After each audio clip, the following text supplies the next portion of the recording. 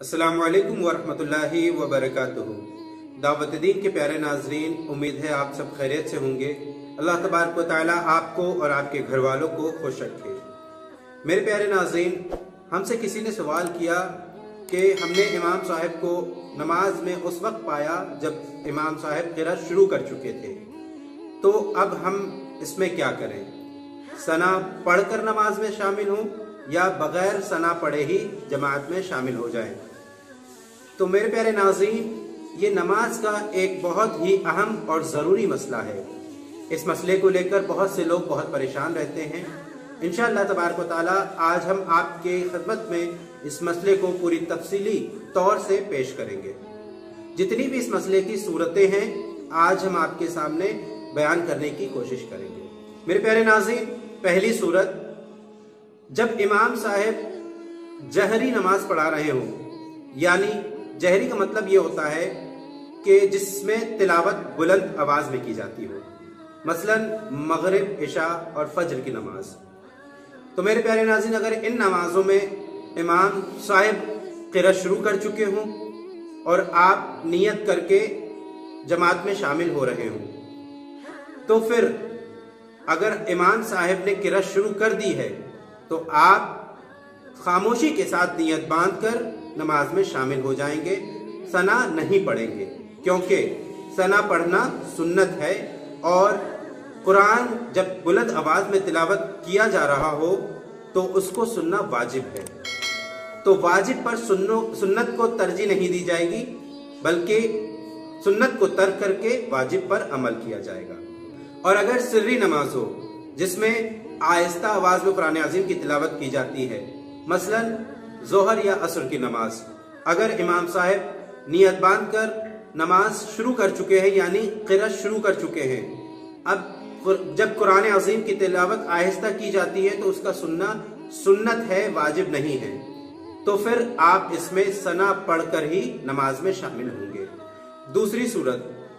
اگر آپ نے امام صاحب کو رکو یا پہلے سجدے میں پایا تو اگر آپ کو یہ قوی یعنی زیادہ امید ہے کہ آپ سنا پڑھ کر امام صاحب کے ساتھ رکو اور سجدے میں شامل ہو جائیں گے، تو آپ سنا پڑھ لیجیے۔ اور اگر آپ کو اس بات کا اندیشہ ہو کہ سنا پڑھنے میں تاخیر ہو جائے گی اور رکو یا سجدہ چھوٹ جائے گا، تو آپ بغیر سنا پڑھے ہی امام صاحب کے ساتھ رکو اور سجدے میں شامل ہو جائیں۔ میرے پیارے ناظرین، تیسری صورت اگر آپ نے امام صاحب کو قائدے یا دوسرے سجدے میں پایا، تو اس حالت میں بہتر یہی ہے کہ آپ بغیر سنا پڑھے امام صاحب کے ساتھ قائدے یا سجدے میں شامل ہو جائیں۔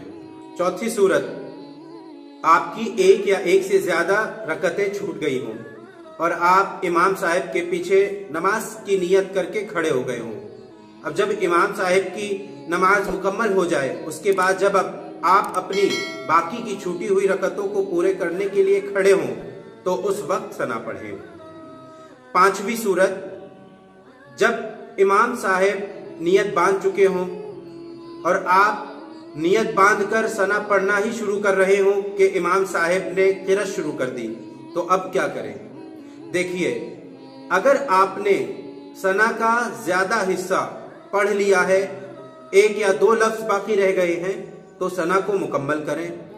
اور اگر آپ نے سنا کا کچھ ہی حصہ پڑھا ہے اور زیادہ حصہ باقی رہ گیا ہے، تو پھر آپ سنا کو وہیں روک دیں اور قرت کو سنیں۔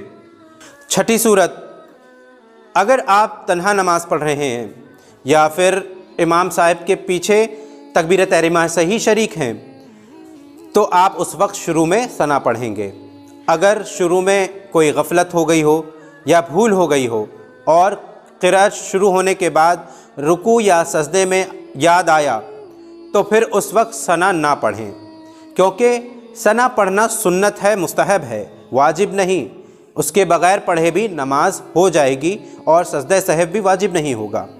میرے پیارے ناظرین، امید ہے کہ آپ کو یہ مسئلہ بہت اچھے سے سمجھ میں آ گیا ہوگا۔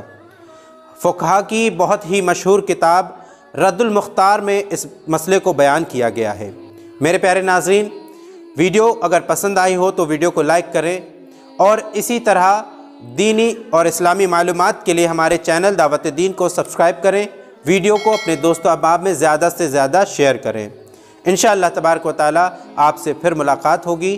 تب تک کے لیے انتظار کیجیے، اپنا خیال رکھیے۔ السلام علیکم ورحمۃ اللہ وبرکاتہ۔